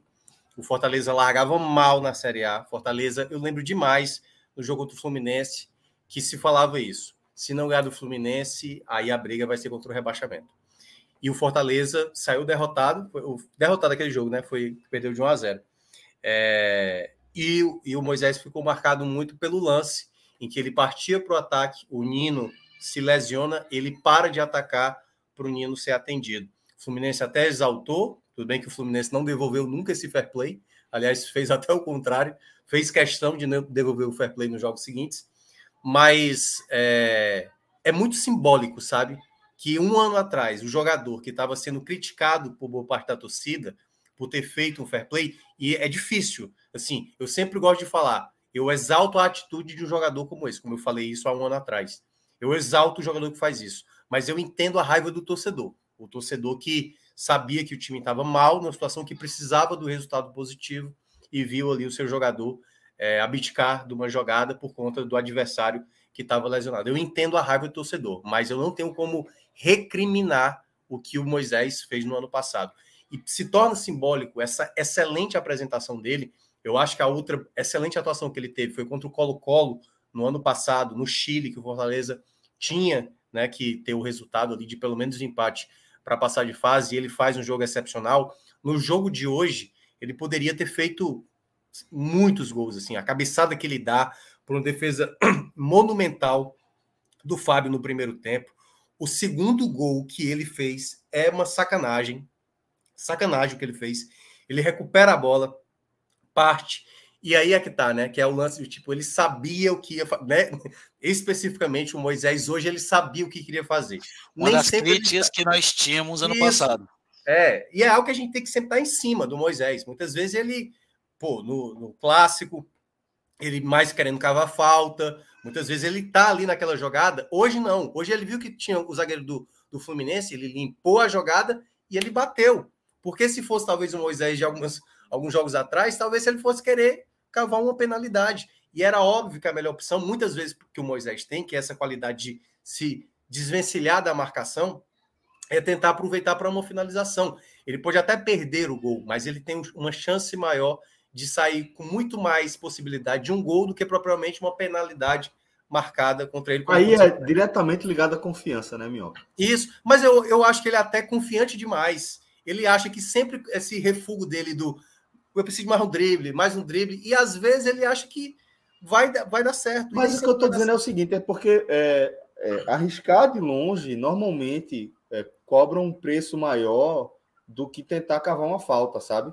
Ah, porque sim, você... ela tá falando sobre é isso que eu tô querendo, é, é, isso que eu tô querendo dizer. É que tipo, ele vai, ele vai nessa de tentar um a mais para cavar uma falta e pronto, firmei o gol. Arriscar de longe, errar, tal, chutar em cima, quando você tá com a confiança sem ser no alto, cobra um preço caro, pô. Às vezes cobra titularidade, às vezes cobra é, a relação com o torcedor, é disso que eu tô falando, mas eu entendi com você essa coisa de, do, do ímpeto dele sim, de querer sim. ir a mais, né? Também tem a ver com personalidade, com confiança. É. Assim. Então, assim, o Moisés, para mim, talvez tenha feito a grande atuação dele com a camisa do Fortaleza e que consiga, por mais que você não consiga repetir uma atuação como foi a de hoje, tentar o máximo, né? Não ser tão indeciso em algumas jogadas, ser objetivo, porque ele tem essa qualidade. Ele é muito habilidoso, muito inteligente, um investimento certeiro do Fortaleza, certeiro, e ele foi uma peça fundamental. É... Eu vou colocar na segunda colocação o Pacheco. Essa jogada do terceiro gol do Fortaleza ela é curiosa, porque quando o Pacheco recupera, ele não é que ele dá o passe de maneira imediata. Ele percebe que dá para conduzir a bola, e na hora que ele conduz, ele meio que sai de dois jogadores do Fluminense e aí ele vê o Moisés livre, atrás da linha do meio do campo, e ele dá o passe que ele já tinha feito, se eu não me engano, contra o Bahia, não foi? O gol não foi assim contra o Bahia, se eu não me engano? Ele que dá Sim, o passe. O Romarinho. Que é atravessando também toda a defesa que estava bem aberta do Bahia para fazer o gol. Então, o Pacheco, a cada jogo, a gente tem ressaltado isso. A cada jogo ele melhora, a cada jogo ele melhora. E era um jogador que precisava, porque eu, eu sabia da, da, da qualidade do, do, do Pacheco, mas como ele vindo do Ceará, né? Ah, os primeiros jogos dele ele foi mal de fato, já tinha na época um zum, zum, zum mas agora eu acho que ele está muito mais estabelecido e o torcedor agora já abraçou, né? Tanto que ele, ele próprio brinca nas redes sociais de Fortaleza. Não, o Pacheco está sorrindo, o Pacheco está feliz e tal, porque ele é muito sério. É, ele é muito sério, né? E Fortaleza é conhecido por ser um clube bastante extrovertido. E para fechar, cara, tem vários nomes tá que feliz. Até tem cabelo agora. É, tem até, até cabelo. cabelo ganhou. É. é... Tite foi muito bem, é... mas eu vou acabar ficando. Deixa eu dar uma olhada aqui, porque eu tava com ele. Ah, sim, é. Eu vou ficar. Pois com... eu que persigo o Tite. Não, não, né? não é isso, não. Eu, eu. O Tite merece todas as ressalvas. Aliás, o time todo foi muito bem. Mas eu vou ficar com o Pochettino, porque por um determinado momento eu achei que o Pochettino não estava jogando bem, mas eu acho que o Pochettino o Pochettino, se você olha o primeiro tempo, repara das chances que o Fortaleza criou, toda, quase todas, também todas é exagero, mas quase todas saíram do pé do Pochettino. O passe que ele deu para o Galhardo finalizar no segundo pau, cara, de manual, cara, de manual. Então, assim, ele foi um cara que, mesmo não tendo a mesma intensidade, e eu acho que foi de. Me pareceu. Jogou para caralho também. É. Toda vez que ele tinha a bola e estava na frente, ele estava encontrando o companheiro na melhor maneira. E era importante ter um jogador desse. Porque muitas vezes você recuperava a bola, e ver uma defesa mais espaçada, você precisa ter um jogador do passe, como o Pacheco foi e como o, o próprio o próprio Pochettino também foi. Então, muitas vezes o Pochettino ele é cobrado, assim, porque talvez não tenha a mesma qualidade do Caleb, não é tão vistoso, mas ele foi um jogador muito lúcido em muitos momentos. Então, acho que na partida ele foi muito bem, não foi tão bem defensivamente, mas eu acho que não era essa pro, proposta do Voivoda, não era tentar recuperar a bola a todo custo da, da, equipe do Fluminense, era esperar e numa zona de mais segurança recuperar essa bola, como o Fortaleza fez muitas vezes na partida. E pronto, aí já vamos para o lado negativo, né? Vamos, vamos nos destaques negativos. Eu só queria dar o pontapé aqui é, tá. né, no debate sobre o Guilherme tá? Para falar dos destaques negativos. Fundamentalmente porque eu quero entender o que é que, qual foi a visão de Luca de, de é, atrelar o adjetivo de que Guilherme é útil ao desempenho dele hoje. Porque o que eu falei ali foi, eu concordo, Guilherme é útil, ponto final. Para a Série A, é útil, ponto final. Sabe, eu acho que ele é um jogador muito útil para um cenário muito recorrente das partidas, que é seu time está precisando de velocidade para aproveitar espaço ou para fazer uma fumaça, tentar furar um retranca. Eu acho que isso é importante. E é um jogador que, que ele consegue fazer isso. É um cara que tem um drible rápido, curto e tem uma finalização boa de fora da área. Então, isso para mim já é suficiente para dizer que ele é útil. Eu só não só estou querendo realmente entender, não estou tirando onda, não. Eu estou querendo entender é, qual, onde foi que você viu é, esses essas características dele na partida de hoje, porque hoje, cacete, eu acho que ele foi lastimável. Eu acho que ele foi o oposto disso aqui que a gente está falando. Ele é o cara que ele poderia ocupar os espaços, como teve espaço, mas ele errou tudo, velho. Tá entendendo? Aí meio que, que, que, que, faz assim. É, joga contra o argumento que eu acabei de utilizar, sabe? Ele ser útil tal para esse cenário de jogo era o cenário ideal para ele. Eu acho que ele foi mal para caralho nesse cenário de jogo, entendeu? Não, sem sombra dúvidas. Eu vou colocar os outros dois da lista, né? Eu pensei muito no Galhardo, por exemplo, nessa lista hoje. Ele teve ali seus momentos, mas acho que ele ficou um pouco abaixo. Mas o Galhardo vai sair da lista justamente por causa do Guilherme.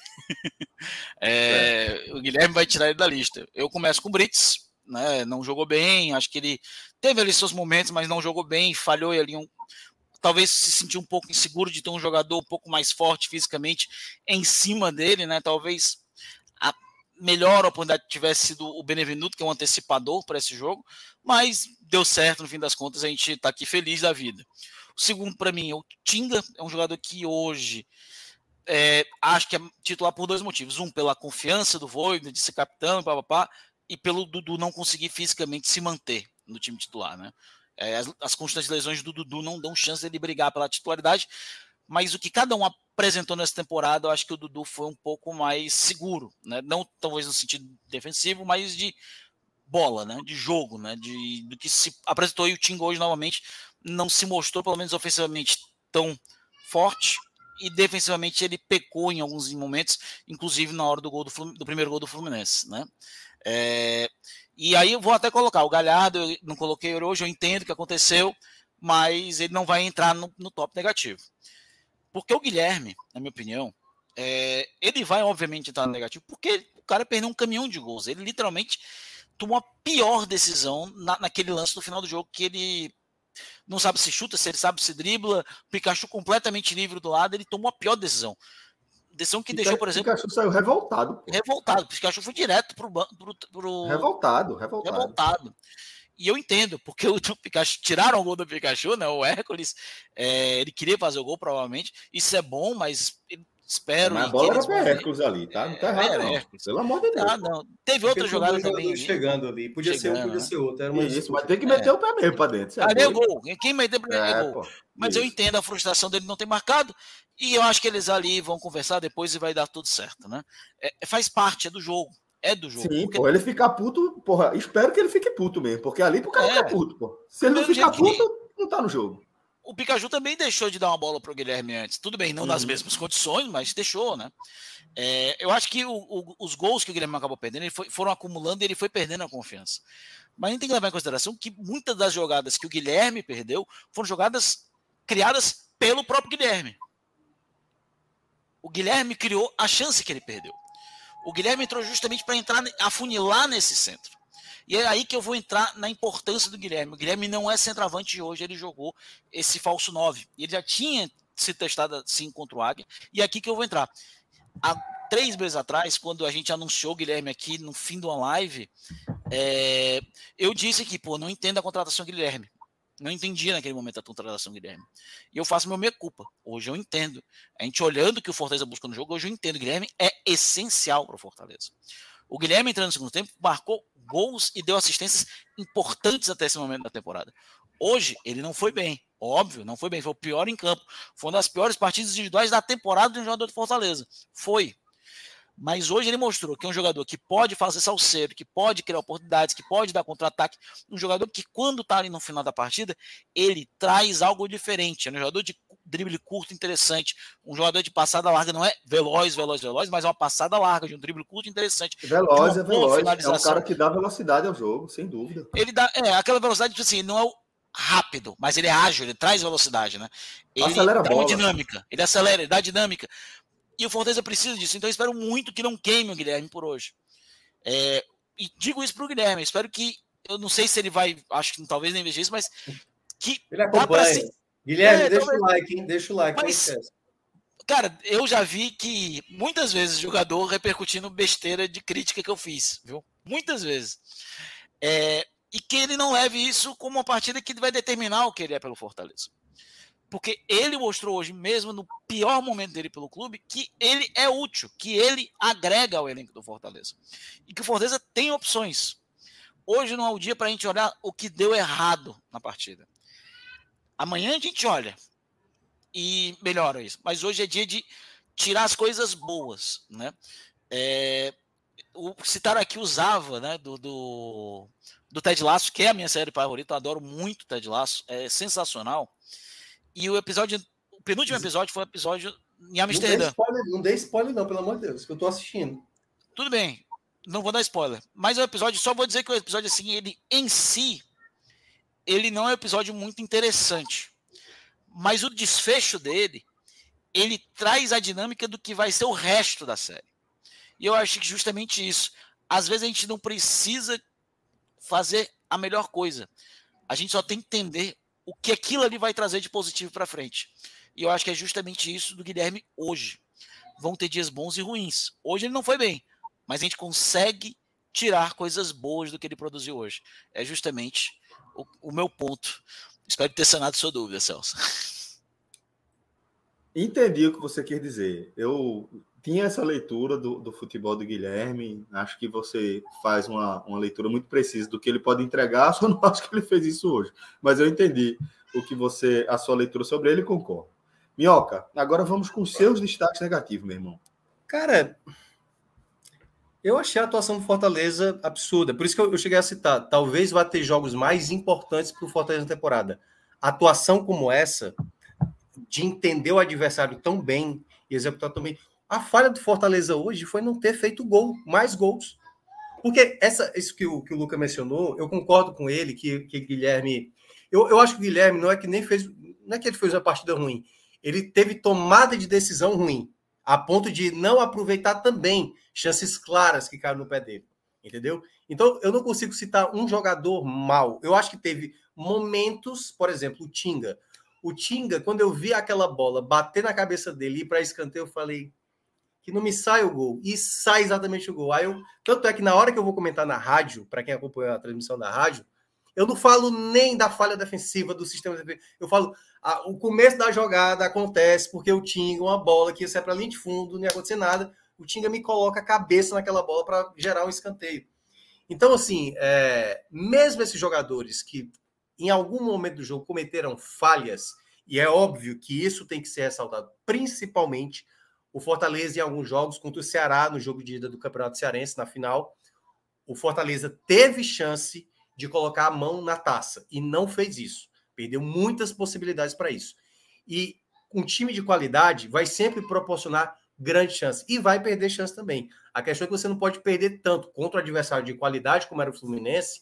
Um determinado momento, aquele 2 a 0 estava bom e poderia ter sido mais. Terminou 2 a 1. O 3 a 1 estava muito mais na cara que ia ser 4 a 1 do que o 3 a 2 que acabou se transformando. E isso custa caro numa Série A. Fortaleza tem que ser mais os jogadores, eu diria, porque o próprio Moisés, o Moisés no começo do segundo tempo, uma chance, ele domina errado e poderia, ele teve uma outra chance, ele perdeu e na terceira que ele acabou fazendo gol. Então assim, esse tipo de coisa eu, é uma crítica que eu faço para o elenco de uma maneira geral. Você tem jogadores de muita qualidade. O Pikachu, por exemplo, acertou um chute espetacular que o, o Fábio colocou para escanteio e ele tem essa qualidade. Pesado, por, de mão é, trocada ali, não foi? É, e por mais que ele reclame é, do Guilherme, e eu acho que tem razão em cobrar do Guilherme, é como o Luca falou, é uma situação de jogo ali, mas não pode esquecer do feito que foi do Fortaleza hoje de vencer a equipe tão qualificada como é o Fluminense. Isso vai acontecer em diversos jogos, oportunidades. O Fortaleza sempre precisa entrar no jogo criando oportunidades e, claro, os jogadores que eu acho que fazer um gol muitas vezes é você estar tá com a cabeça leve, sabe? Até às sim, vezes para você estar tá frio numa jogada de dar uma cavadinha, dar um drible. E o que eu vi do, do principalmente do Guilherme quando ele entrou é ele, ele ficou inseguro muitas vezes. Ele estava cara a cara com o Fábio, ele tinha a opção do, do Pikachu do lado, e aí ele não pensou direito. Outras vezes, como por exemplo, há uma semana atrás, eu destaquei para mim o Guilherme, não sei se eu, não, o Pikachu coloquei, né, como melhor partida, mas o passe do Guilherme para o Pikachu, eu falei, é de um jogador que entendeu que ele não precisava conduzir aquela bola, dar o passe, o companheiro está melhor é, numa melhor posição e foi o gol do Fortaleza naquele jogo. Então, eu acho que o Guilherme hoje é um jogador muito útil no elenco, não é por conta dessas tomadas de decisões de hoje, que eu nem considero ele ter feito um jogo ruim, mas ele não soube escolher as jogadas no momento chave, né? No ponto ápice de fazer ali uma conclusão que também outros jogadores acabaram, o próprio Galhardo. Galhardo finalizou uma, mérito também para o próprio Fábio, mas, enfim, acontece é do jogo e o mais importante, né? Como bem destacaram aqui, né? Que é, acho que é o ponto que fica. É... Qual foi aqui o comentário, cara? Eu esqueci agora, mas era falando que o Fortaleza agora é, tem que entender que é uma terceira rodada de Série A, foi uma grande vitória, mas ainda tem um caminho muito longo e como internamente o próprio Fortaleza analisa dessa maneira, é, o trabalho não é, não é tão simples. Você pode estar sofrendo todos os elogios hoje por tudo que você tem conquistado, mas a caminhada, né, como, como dizem, né, para você chegar em Jericoacoara, não sei nem como é que é, tem que passar por Morro Branco ou, o contrário, coisa assim. Enfim, Fortaleza. muito bom, muito bem, né? Ano passado, eu não sei quantos pontos foram, Luca. Quantos jogos foram para chegar em sete pontos? Você tem aí? Demorou. Sete demorou. pontos. Ah, sete demorou. demorou muito, velho. Demorou, é. demorou, demorou. Demorou. Eu acho que passou, eu acho que passou da oitava ou nona rodada. Eu tenho aqui. Eu vou olhar agora, vou olhar agora. Eu tenho aqui, eu tenho aqui. Foi. Perdeu as três primeiras, não foi? Calma, opa, calma. Foi, foi 11 jogos. 11, 11 jogos, 3, 7 pontos. E agora em 3. E a primeira vitória bem demorou. Foi, foi na nona rodada contra primeira... o Fluminense. Ou contra o Flamengo lá no Flamengo. No é, Rio. Isso. Mas é isso, tá de parabéns. E a primeira vitória em casa foi na 13 terceira rodada. É. Então é importante, importante mesmo começar bem. Boa. Então, galera, é, eu queria fechar aqui a nossa live, mais uma, mais uma vez agradecendo a todos vocês tá, que participaram, Celso, contribuindo. Fala, companheiro.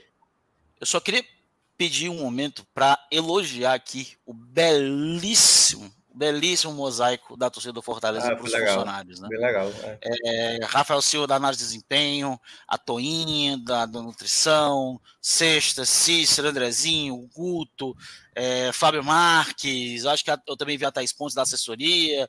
É, não vou falar todo mundo porque é muita gente, mas, cara, é lindíssimo, lindíssimo, uma belíssima e justa homenagem ao dia 1 de maio, né, que está chegando aí na segunda-feira, feriadão que, a gente, que eu vou dormir bastante. É, eu é... vou trabalhar. tu vai trabalhar, eu vou estar tá dormindo, vou acho que vou estar tá dormindo. É, mas, cara, é, a gente foi uma bela homenagem, merecidíssima essas, essas pessoas. É, cara, só de, a Toninha só a de galera que faz o clube no dia a dia, né? Faz, é, é. faz o clube. É, cara, o Moral, o Moral tá no Fortaleza desde 96, a Toninha tá no Fortaleza desde há 52 anos, desde 1971. É, cara, é, é surreal, cara. É, quanta história tem ali, né? Então, cara, é belíssimo, belíssimo, belíssimo. E mandar um abraço pro meu cunhado, Emilson Assis, aniversário essa semana, fez 40 anos, torcedor do Popote do esporte. Parabéns. Festa foi hoje. É, meu cunhado é de Pernambuco. Um abraço Parabéns, aí forte para ele. Milcinho, um abraço grande. É, hoje era aniversário dele, mas eu estou sem carro e preso na Calcaia na festa, é infelizmente. Perdi 150 Aliás, de cerveja. Aliás, Celso, você viajou? Você tá em. Você não está em casa, é isso? Não, eu tô na, na, Praia do Sossego, fica na ilha de Itamaracá, ah, no litoral norte. Estive aí, estive aí no carnaval. Rapaz, pior Bom que eu vou ter que eu vou ter que dar uma esticada amanhã ainda para João Pessoa. O negócio tá correria por aqui, é, mas vai é, dar tudo certo. Tá bem, né? É, Itamaracá é bom demais, viu? Muito bom. É, é muito legal, muito, muito legal. Tive aí Espero que vocês passado. possam conhecer. Eu vi, pô, eu fui agora. É, da minha parte, não conte com isso, não conte com isso. Mas tu conhece a Praia do Futuro, miserável? Ah, eu já fui mais na Praia do Futuro que tu, pô. Eu é tive em Itamaracá agora é no carnaval. Eu fui numa barraquinha ali, velho. Muito bom, cara. Lá perto do forte ali. Pô, tu já viu que tá reformada a aula de, de, de, Iracema ali, né? Meirelles ali, tá? tá. Já. Não, perguntou pra ah, é, é, é, Minhoca que eu não sei. Não, não, não, não, não, não, não, porque na hora que, que, eu, que eu peguei o, o Uber para chegar, tinha uma reforma ali na descida, ali, dava para ver e tal. De vez em quando eu acabo sabendo as coisas da cidade aqui. Quando esbarra, esbarra. Aqui, e aquele cara aí também estão reformando, fazendo uns espigão, viu, meu? Para tu saber essa notícia. Não, é, então pronto, então beleza. Galera, um beijo, beijo grande, todos. Obrigado. Queria dedicar essa live aqui pro meu irmão, Rafael Relógio, Relógio. que está fazendo a última live dele com a gente aqui na direção desta passagem, tá? Você sabe que tem um lugar aqui sempre para você, viu, meu irmão? Um cheiro para você, sucesso, meu velho, sucesso, onde quer que seja, tá bom? Pedro Alves também, possivelmente ele faça essa transição, mas eu estou ainda na, na, conversa com o Pedrito. Por enquanto, um beijo para Rafael Relógio, tá? Até a próxima, galera. Obrigado de coração a todos vocês que nos acompanharam. Lembrando que neste domingo tem a nossa estreia com transmissão é. de jogo. Como o Mioca falou, ao vivo, sem delay e de graça. E vou estar assistindo, já fiz o meu negócio aqui, velho. Já fiz o meu negócio Agora, aqui. daleap.com.br. Beijo em todos e até a próxima. Valeu. Eu.